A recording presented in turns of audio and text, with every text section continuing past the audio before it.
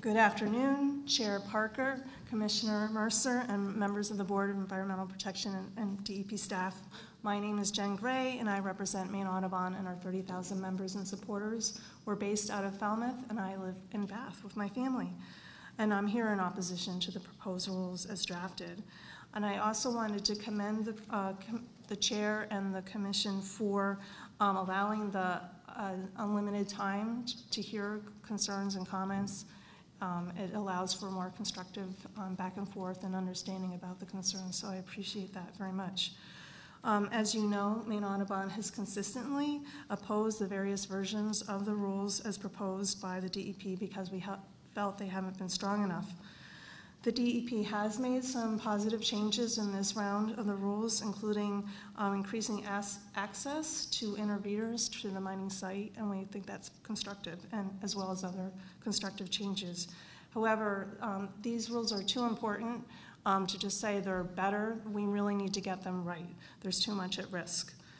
Maine is a wonderful place that's blessed with precious natural resources that provide a rich foundation to our economy and it's essential that these resources are adequately protected. The rules as proposed do not provide sufficient protection for our natural resources, particularly Maine's aquatic resources, including our clean lakes, streams, groundwater, and world class brook trout fishery, and don't provide ample protection of taxpayer dollars. In re- reviewing the proposed rules, Maine Audubon keeps in mind that they are not just about one particular site in Aroostook County, but would apply to the entire state. And I've attached um, the Maine Geological Surveys map. Some of you are new. Um, and this helps provide just some information about identification of volcanic and sedimentary deposits that are potential mining sites that are located across the state, including around Moosehead Lake, Cobscook Bay, and the western foothills. We need to make sure these rules are strong enough for the entire state. And I do know a lot of these sites happen to be around um, clean water bodies uh, that are important to our heritage as well as to our economy. The key weaknesses of the rules, including allowing wet mine waste units during the operation of the mine. Most accidents that occur with tailings impoundments or wet mine waste units occur during the life of the mine, not after it's closed down. So while it's good to not allow it after, it's really important that it not be allowed during the operation as well. Furthermore, if wet mine waste units are barred after closure, um, they really need to be banned from the start. Converting from wet storage to dry is exceedingly challenging, if not impossible. Dry sh- storage should be utilized from the start and should be utilized throughout the life. Should a tailings impoundment accident occur at the Bald Mountain site, for example, it would threaten the precious aquatic resources of the Fish River and the Fish River chain of lakes and beyond, including groundwater, brook trout habitat, etc. Allowing the location of uh, mining operations in floodplain and flood hazard areas makes no sense at all. These areas have been identified as being susceptible to flooding, locating a highly hazardous activity such as industrial metallic mineral mining in such locations is inviting disaster.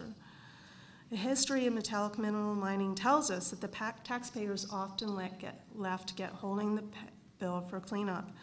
Maine has experienced this uh, situation in the past, and we should learn from this experience. The full cost of cleanup, including after a large scale accident or disaster must be included upfront to protect taxpayer dollars. Open pit mining in Maine could result in arsenic, lead, and other toxic chemicals contaminating our lakes, rivers, and streams and soils. Maine Audubon is also concerned about potential adverse impacts to wildlife and wildlife habitat and rural economy. We urge the board to oppose the rules as written and we thank you for your consideration. And I would just add that I'll submit some additional written comments with some specific suggested changes. Um, also, uh, some prior testimony regarding stakeholder process. I have found over the past 20 years representing Maine Audubon that constructive stakeholder processes can be really helpful in getting the, all the interested parties around the table and experts and talk back and forth as opposed to having those conversations happen in this type of setting or before the legislative committees. Um, the risks are too great.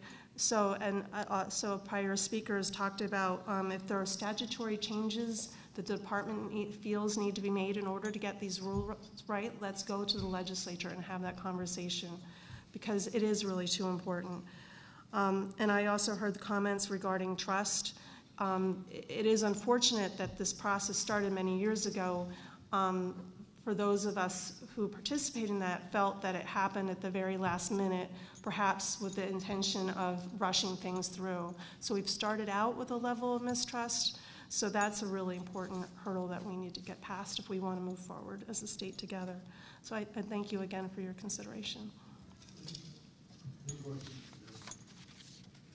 Thank you.